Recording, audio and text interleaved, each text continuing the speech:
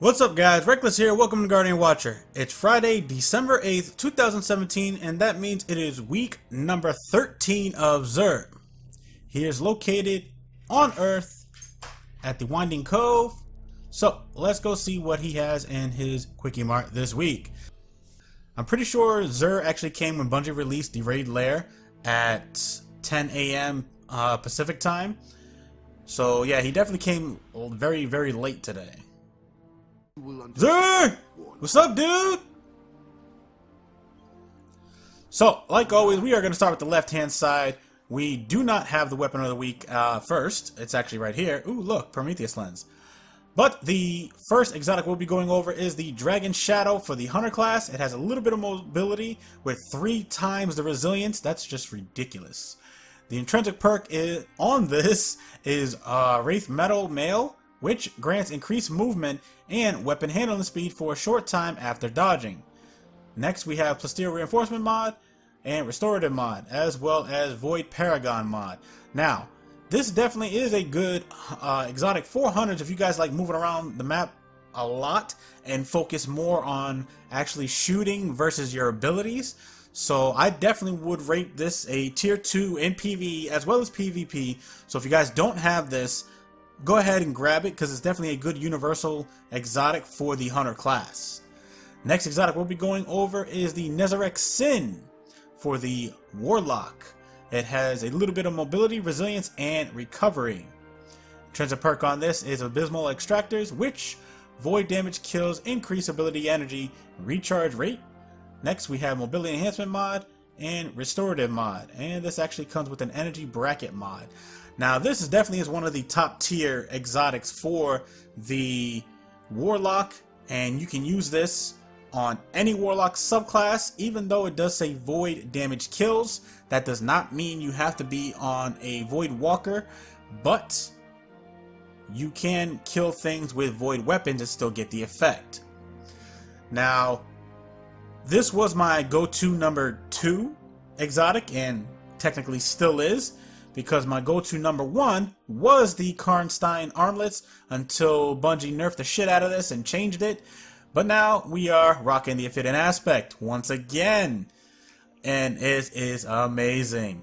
So, I would actually consider the Ophidian aspect to be the top exotic for the Warlock. And then next would be the Nezarec Sin.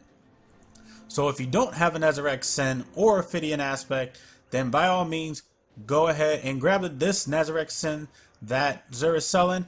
This is definitely a tier 2 and uh, PvE as well as PvP, if not a tier 1.5, which is even better.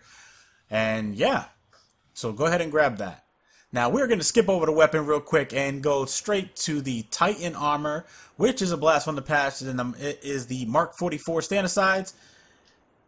Intrinsic perk on this is seriously watch out which grants an overshield when sprinting at full health with Seismic Strike, Hammer Strike, or Shield Bash equipped. Hits with these abilities recharge a portion of your melee energy.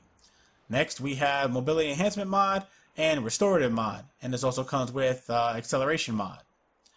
Now, this is an okay exotic. I wouldn't consider it 100% top tier. Hi, Ashley.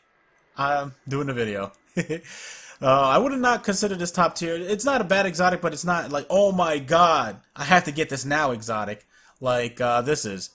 But it's it's still a decent exotic, so I still would consider it a tier 2.5 in PVE as well as PvP. Because Like I said, it's not a bad one, but it's not like the go-to I have to have exotic. So if you guys want it, grab it. If you guys don't want it, grab it, chart it, call it a day, and I just have it in your inventory. Next but not least, we have the weapon of the week, which is the Prometheus Lens Exotic Trace Rifle.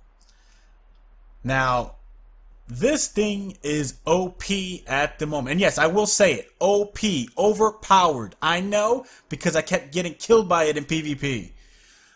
As of right now, this was actually released with the Curse of Osiris um, with an actual bug. So We'll get into that in just a second. In terms of perk on this, it's Prismatic Inferno, which fires a solar trace beam and generates a damaging heat field that grows while the weapon continues to fire. Then we have chambered compensator, uh, projection fuse, flame uh, refraction, which kills with this weapon, return a fraction of the ammo used to the magazine, extended the beam's duration. And then we have composite stock, which is an awesome, wonderful perk. Then we have uh, also uh, weapon attack mod on this as well. Now, let's compare it real quick to the Cold Heart. Whoops.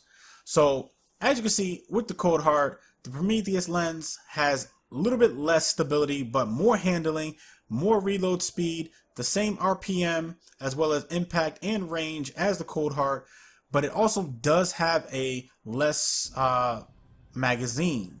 Now, just because I have a less magazine does not mean it isn't as good as the Cold Heart. At the moment, because of uh, its wonderful issue, it is actually better than the Cold Heart. Now, the wonderful thing about this is when you actually fire this and you actually get that AoE damage on an enemy, you're doing the same amount of damage as you are when you shoot this thing, which is why it's OP. And yes, I still will continue to say it. OP, overpowered. And this thing will most likely get patched on December 12th. So if you guys don't have one, by all means, grab it. This, as right now, as of today, December 8th, this thing is top tier, tier 1 in PvE as well as PvP. As of next week, it might change. Might still be tier 1, might still be great, but this thing destroys in Crucible. And most likely it's going to destroy in Trials of the Nine as well this weekend as well. So, yeah. if you guys don't have this, grab it. I already have one, as you can tell.